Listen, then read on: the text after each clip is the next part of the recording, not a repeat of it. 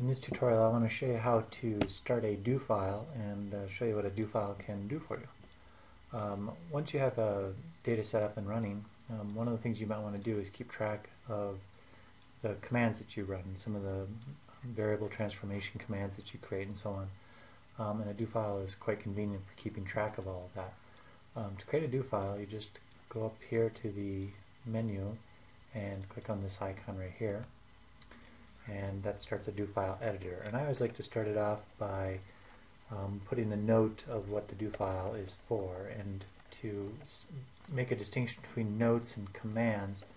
Um, for notes we can use asterisk. So just put an asterisk and then um, type a note to yourself. So uh, this is a do file for a YouTube tutorial on do files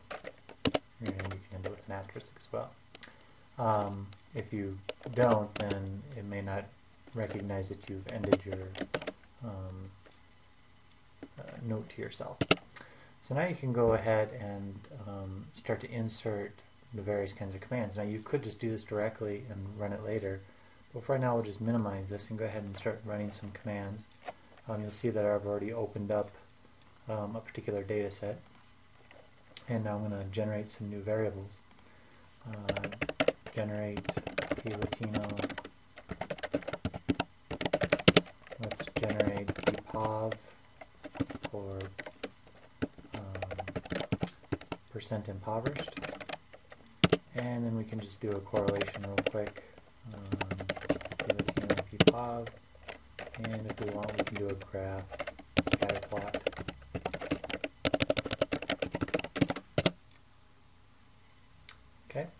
so we've created some variables, we've run some commands and so on. Um, we can even do a regression of percent impoverished on Latino. So what we might want to do is actually keep a record of all of these commands so that if we were to come back to this same data set untransformed later on, we'll be able to create whatever variables we created before and actually run all of the, the tests we ran before. It's quite simple to do this. If you just highlight the first one here and hold down the control key, you can actually go ahead and just select all of the commands that you want to include in your do file. And if you don't want to include something, just uncheck it.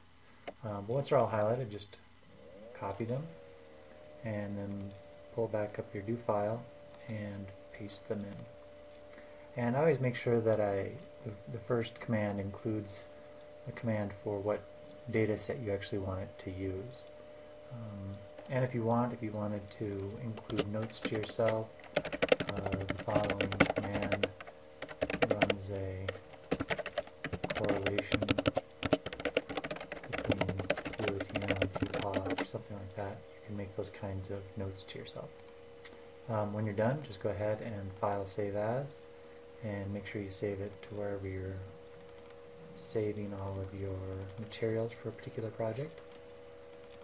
Um, and I'll call this do file YouTube and hit save.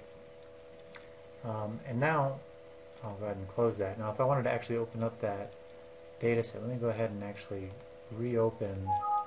Um, I'm not going to save this. I'm going to go back to the original data set. So now we're we don't have any of the variables we created or anything like that. We've opened up that um, same data set. And actually I should open up um, nothing. So let's close down this data and bring it back up. Let's go ahead and open up the do file. Start a do file editor and go to open. And we'll just go ahead and open that one we created. There it is. Now if I actually want to run it all, I'll just go ahead and execute and do it and there it went ahead and did all of the commands. You can see that it executed all of those commands and I have my new variables and I have the results of the commands that we ran. So that's how you do a do file and that's um, what function it serves.